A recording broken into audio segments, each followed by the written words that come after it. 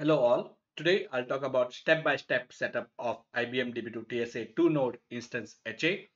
This is an active passive solution. This is not a HADR. This needs shared storage. As you know, HADR does not need a shared storage. This particular solution does need a shared storage. What do you mean by active passive? What active passive means the instance or the database will be up and running only on the active node or one node. On the other node it will be in the shutdown state. If anything happens to the active node such that it crashes it is not able to connect to the network it is not booting up then the instance and the database will automatically fail over to the passive node. I'll be using DB2 11.5.6, Linux 7.8, VirtualBox 6.1.26 what I'll do is like I'll cover how to set it up. I'll explain everything and then we will move to the practical part. So we need to have two hosts 7.8. I'm using Linux 7.8 host. My host names are DB1 and DB2. The instance user that I'll be using is DBP. Make sure that the, this instance user is there on both the nodes and also make sure that the instance the user ID and the group ID for the instance owner and the fenced user is same. In my case, I'm using the instance owner and fenced user as a one, uh, but in production, try to avoid that. The install DB2 on both the nodes, I'm using DB2 11.5.6 community edition. So make sure that you install the DB2 11.5.6. I'll not be covering how to install the DB2 setup, uh, database software because the, the it is very similar to how you do it on standalone instance. There is no difference except that you need to install the TSA libraries. Networking, we only need one public IP. We do not need private IP or multiple IPs. We only need public IP. So I'll show you how my IP configuration looks like. And you need to make sure that host one is able to communicate to host two and host two is able to communicate to host one. So they need to be able to communicate to each other as I mentioned that this is an active passive. This is not an HADR, which means this needs a shared storage. I'll be using a SCSI protocol. My SCSI drive is coming from a free software called TrueNAS or FreeNAS previously. It's a uh, all of this, the node 1, node 2 and the TrueNAS software is running on my personal machine. Uh, it's a laptop and all three machines are running. So this is my TrueNAS box this is my node 1 and this is my node 2 so all three machines are running on the same laptop. You if you if your laptop is not powerful and you have a smaller configuration you can set up another laptop as a share storage. It's up to you. I'll not be covering how to set up the share storage. I'll just use the, the i have already configured a SCSI drive. I will be mounting it. I'll show you how to mount it but how to set up the SCSI drive is something that it's it's a big topic and if i start covering that it's this particular tutorial will be lengthy so i do not want to do that. You can use any of your uh, uh, network sharing methods so i'll be using SCSI protocol. Then we'll be creating the file system. The file system will be created only on the first node. We will not create the file system on no, uh, both the nodes because whatever file system that you create on the first node it will be seen on the second node because it's a shared storage then we'll be adding an entry in etc fs tab. The then we'll be mounting the file system, creating a mount point, mounting the file system, and we'll be creating some directories for instance home, diag path, backup, database, and arc location. Remember that we have to do this again only on one node because it's a shared storage. Whatever you do on the first node will be accessible on the second node. So I have highlighted here that this we have to run it only on one node. Everything has been done by root. So I'll be changing the permissions to DBP DBA, the instance owner. I'll change the shared file file permission to the instance owner. This is the most important step. We will be changing the home location of the instance owner to the shared location. So we'll I'll modify the etc password file to change the home location of the instance owner to the shared path. Then we'll verify that home path is changed. Then we will be creating the instance on node 1 using db2i create command. So we'll create the instance eh, on node 1 using db2i create. Our work on node 1 is completed and now it's a time to move to node 2. So on node 2, we'll be recreating the instance on node 2. So first, before doing that, what we need to do is again, we have to discover the SCSI, mount the disk. Here you can see I'm not creating the file system because it has we have already done this on node 1 so i'll just make the directory the, create the mount point mount the file system and then change the home uh, directory of the instance owner again to the shared location. So that's done. And then to recreate the instance, I will be deleting this particular SQL lib directory. If I don't delete the uh, directory, it will say the instance already exists and the db2 i create command will fail. I'll show you that it will fail. So what we need to do to do that workaround is first we'll delete this. You can either rename it or delete it. It's your personal choice. And then once that is done, we'll be recreating the instance. Then what I'll be doing is I'll create the database on the node 2. So my node 2 uh, is now is where I'm doing. So I'll create uh, set the before creating the uh, before creating the database I'll set the default DB path to shared location the diag path to the shared location and then I'll create the database convert the database into archival logging and then uh, I'll take the backup to convert the database and that's done so we have created our database the final part is setting up the TSA. Before doing that, the node 1 was shut down. So I'll power it on the node 1, set up the TSA. So as root, I'll run these commands on both the nodes. And as instance owner, I'll run the db2 haicu minus f instance. So I'll be using one file to set up my uh, TSA. And this particular file that I'll be using is actually a modified version of a sample file available in instance home directory SQL lib samples HA XML. I'll show you this particular file how it looks like and the original file. I'll show you that. Once that is done we will shut down the node 2 remember that we created the database on node 2 so the node 2 was our active node. So i'll shut down the node 2 and you will see that everything from the node 2 will move to node 1 so let's start uh, with our activity. So let me connect to my node 1 which is the white box node 2 which is the green box. So these are my two boxes let me go to the beginning of the document. And so two nodes db1 and db2 so this is db1 and this is db2 the next part is install db2 11.56 on both the nodes. So verify that the db2 11.5.6 is installed. So i'll running the db2 ls command to verify and you can see 11.5.6 and here also you can see db2 11.5.6 so i've installed db2 on both the nodes. So that's done. The IP, as I mentioned that I have only one IP cat etc host. You can see I have only one IP and here also you can see I have only one IP. 101 IP belongs to node 1, 102 IP belongs to node 2. So 1 ending with 1 belongs to 1, ending with 2 belongs to 2. So we will verify using ifconfig. I can see I can show you that the IP is 101 for node 1 and 102 for node 2 so that's done and we should be able to the db2 should be able to communicate to db1 so that's done. And db1 should be able to communicate to db2 so that's done. So they are able to communicate to each other so the networking part is done. The next part is shared location. So before doing that what i'll do is as you can see that i have got a to e these are all local disk. Then from the TrueNAS box this is my TrueNAS box from this particular box, the, as you can see, the IP of this box is 192.168.1.24. That's the IP that I have used. This is a free software. As I mentioned, you can configure uh, the all the storage using a GUI.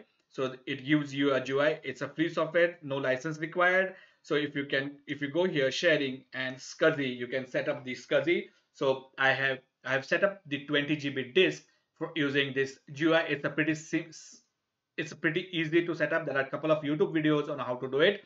So I'm using the FreeNAS software to set up my share storage. So let's discover the portal. So that's done. Then we will log into the portal. That's done. And now I will run the same command once again. And you can see that I have a 20 GB. It shows 21.5, but it's a 20 GB disk. The dev SDF, which was not here. As you can see, the last disk was dev SDE. Now I have a dev SDF. So let's create a file system. This command we have to run only on one node. So I'm doing that pressing Y. So I've done, I've created a file system on node 1, ext4 file system. I'll be adding an entry in etc fs tab once that is done. So let me clear vi etc fs tab, add an entry in this particular file.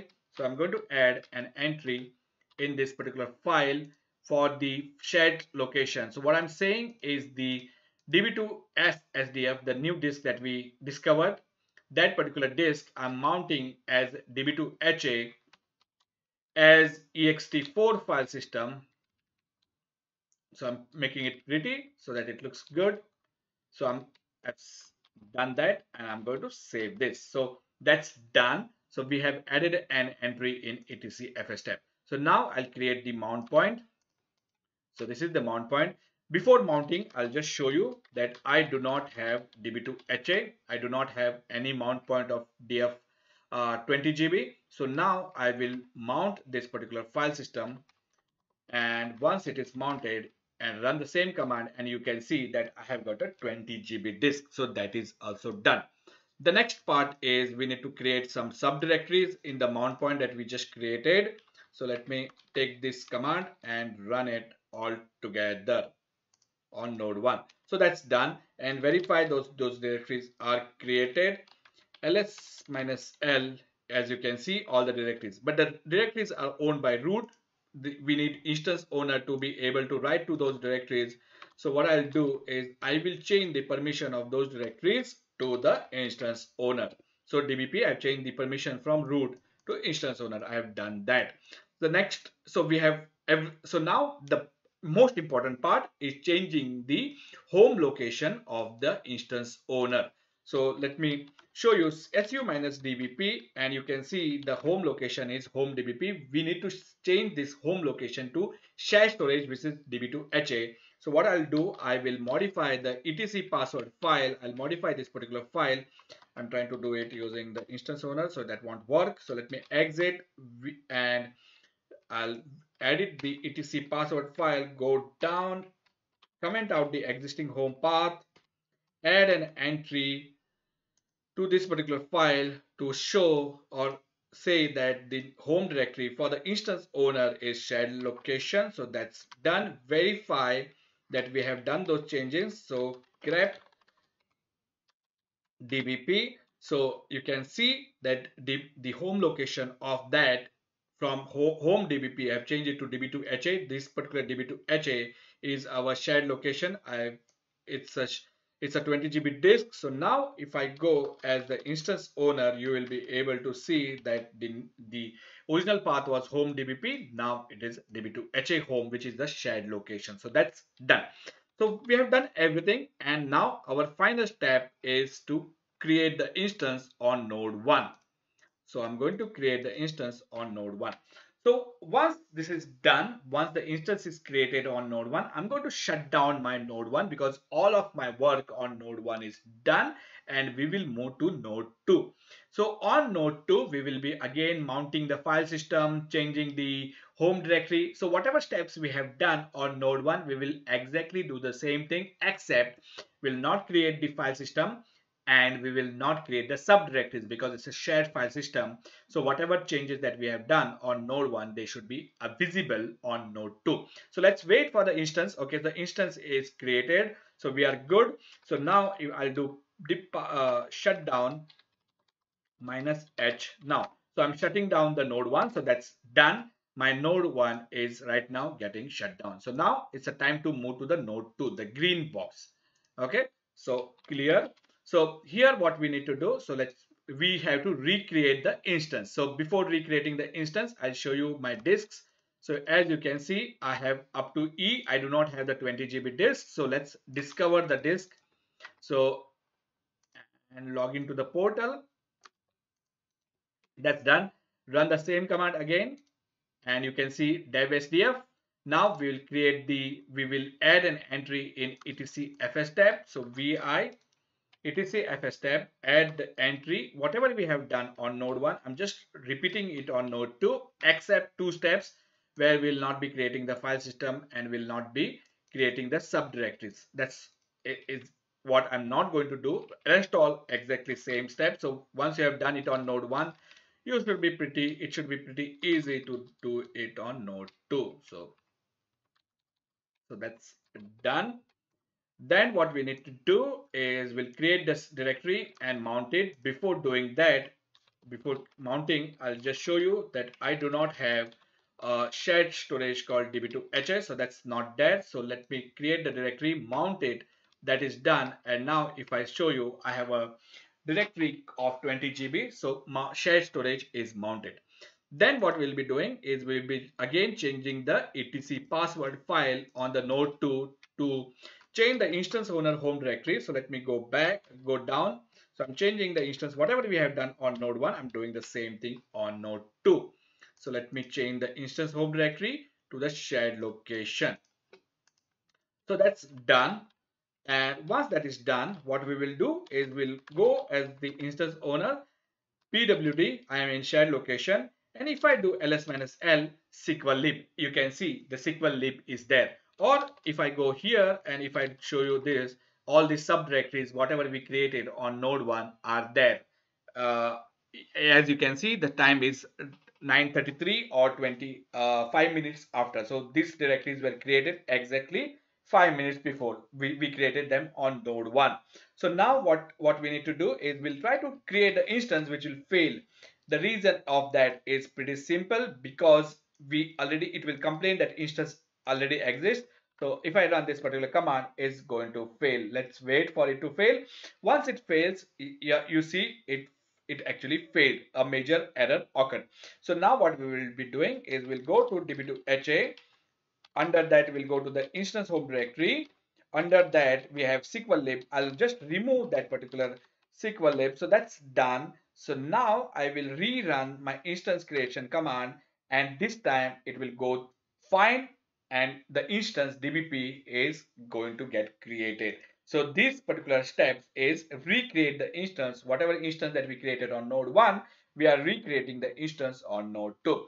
Once the instance is created, we are going to now create the database. Before creating the database, I'll change the default DB path to shared location, the diag path to the shared location, create the database and convert the database into log arc. And the log arc method one, this disk, I'm using the disk location and that also will be in the shared location. So let's see if the instance is created. And if the instance is created, I'm going to run all of this command together. Okay, so let's see. Yeah, the instance is created. Previously it failed. So now let me log in as the instance owner. So this everything is is happening. db2 get instance.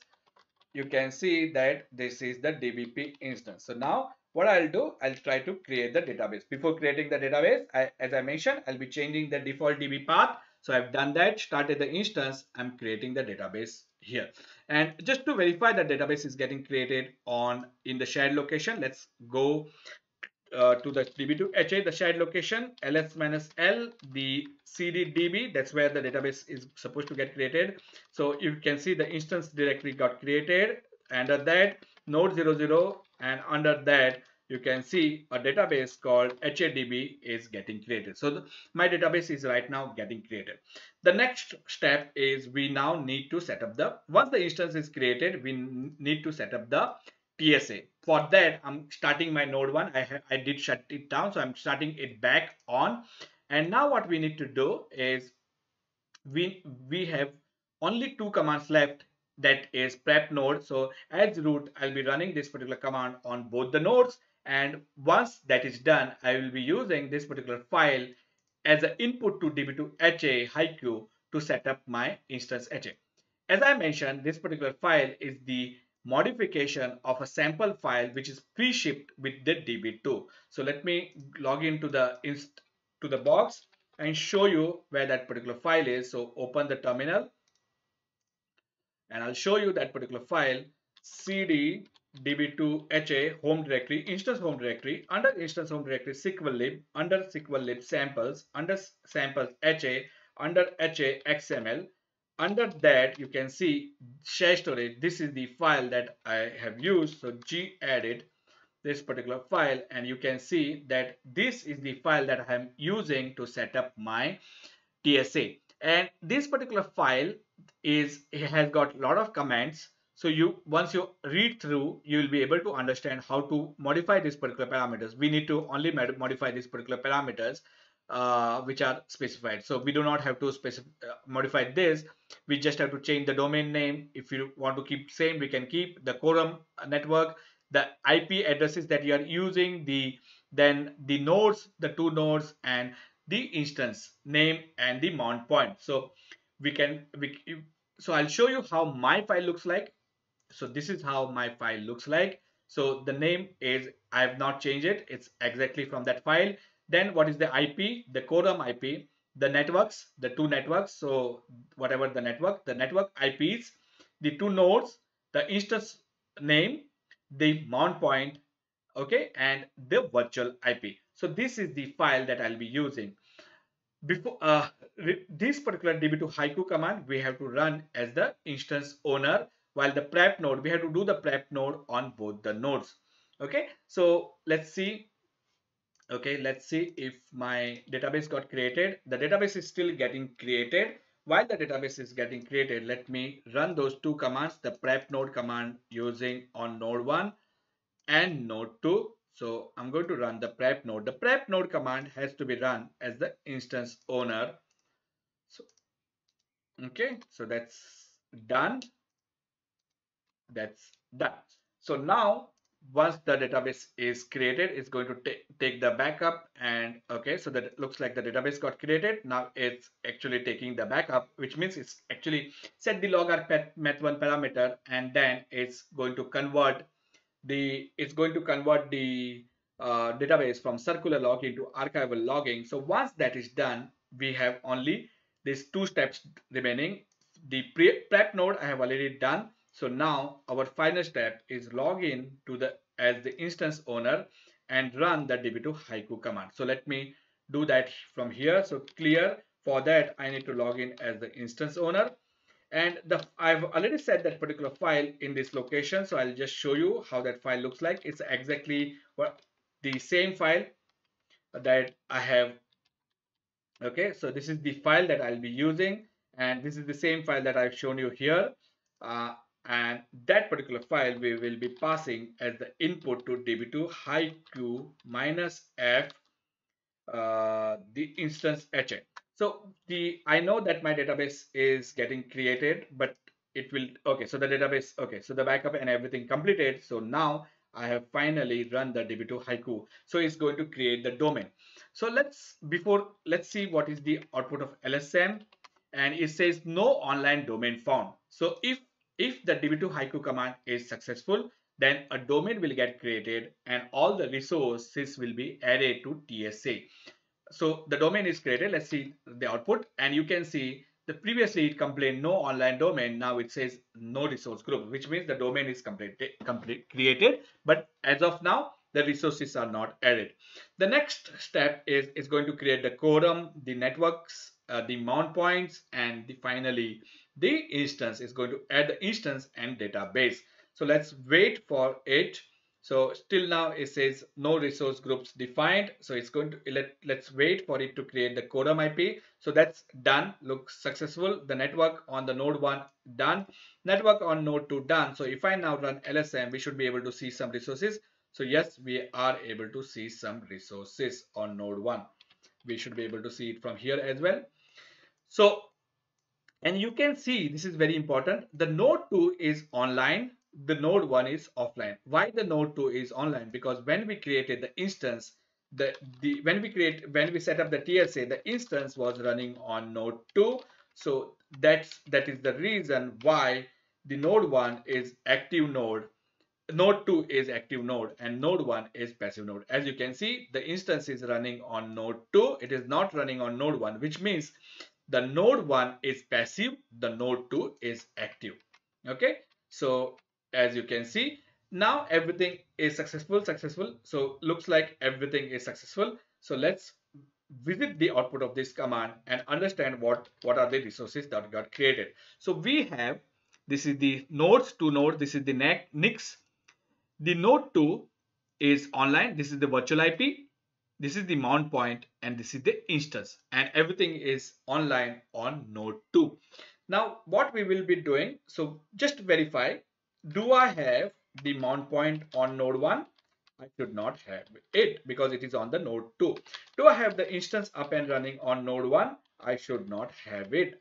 And do I have the virtual IP? ifconfig grep inet. I should not have the virtual IP. There is only one IP. Now I will repeat the same commands on node 2 and you should be able to see. So do I have my share storage on node 2? Yes, it is on node 2. Here, no output. do I have my instance up and running on node 2? Yes, my instance up and running on node 2. And do I have the virtual IP on node 2? As you can see, 111, the 111, the virtual IP is on node 2. So looks like everything, my active node is node 2 because as I mentioned, when I ran the TSA command, the db2 haicu command, my node 2 was active node. Now, the final step that we are going to do is we are going to shut down our node 2. So what is going to happen when I shut down my node 2 is all the resources are going to move to node 1, the VIP file system instance and the database along with the instance. So let's test that. So I'm going to just click on this. This is my node 2. So host name. Okay, as you can see, it's a node 2 and I'm just going to power off the machine. So that's done. So I've done that. So this this is node 2 is going to get disconnected. I cannot run any command. So this is the node 1. And now what I'll do is I will run the lssam command and you will see that my node 2 is failed. The output of this lssam is node 2 is failed. So what I'll do in the meanwhile is I will launch one more putty session. This is I'll close this node 2 sessions. These are all they are disconnected anyway. So now I am there are two sessions and you can see the node 2 is now it was online here you can see the node 2 was online online and now it is failed offline. So if everything is working fine if whatever setup that we have done is good then what is going to happen is the vip is going to come online on node 1 the mount point is going to come online on node 1 and the instance is going to come online on node 1 so let's verify okay see it shows pending online. The the vip has come online. From offline it has turned it to online. The mount point has still not come online. It's it's still in the pending online. So let's give it a minute. If it does not come online we might have to just restart this. It happens sometimes. Okay the mount point has come online actually but let's see what is the output of lssam okay so Mount point has also come online and the now final step is the instance. So we need to wait for the instance to come online. So let's wait. Let's see if the instance came up and it looks like the instance has not come online. So it's pending online. So give it a minute. Okay. Give it a minute. While it is happening, what I'll do is like I will restart my node 2 so that it should join back to the cluster. So give it a minute. Now what I'll do is lssam it's the instance only the instance is now not come online. Everything is good. So let's wait for the instance. It's it's pending online.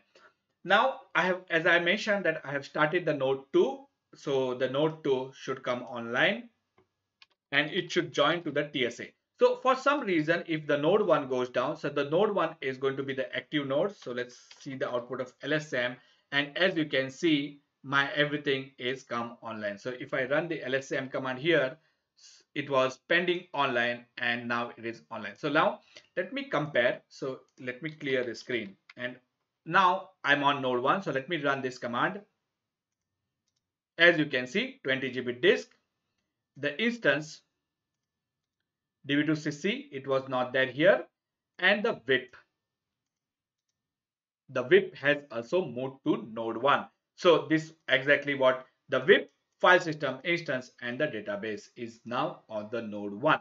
Let's verify the database is actually active. So su minus dbp db2 list active databases. Let's verify and as you can see the HADB is active. So the database is also come online. So the instance and the database has come online on node 1 and what I've done is I've started the node 2 so let's wait for it you know the, the node 2 to join. So it still says failed offline. Okay? So it's going to connect. Once the node 2 is ready it's going to connect to the TSA and it's ready. So now for some reason if anything happens to node 1 again the node 2 is going to take over. Okay? So the node 2 is going to take over. So I'll just wait for the node 2 to join the cluster. Once that is done we will stop the video. So what we learned is here the most important thing you know is the shared storage. You need to make sure that the disk is accessible on both the nodes. And it, actually the setup is pretty simple. Where you can go wrong is the instance creation. So you need to make sure that the home directory of the instance owner is the shared location. So that is one thing that you need to make sure. And the next thing that if you created the instance first on node 1 and you move to node 2 then you need to recreate the instance on node 2 and before doing that you need to remove the SQL lib or rename it and then run the db2i create command. If you get this right, then probably your setup is going to work fine. So let's verify whether our node 2 has joined and as you can see, the node 2 has joined the cluster. And if, if for some reason, if anything happens to node 1, node 1 is right now active node, node 2 is passive node. And if anything happens to node 1, automatically the instance, the virtual IP and the mount point along with the database will move to node 2. So this was the concept of active passive. I hope you like this particular video. We covered step-by-step -step setup of IBM DB2 TSA 2 node instance HA.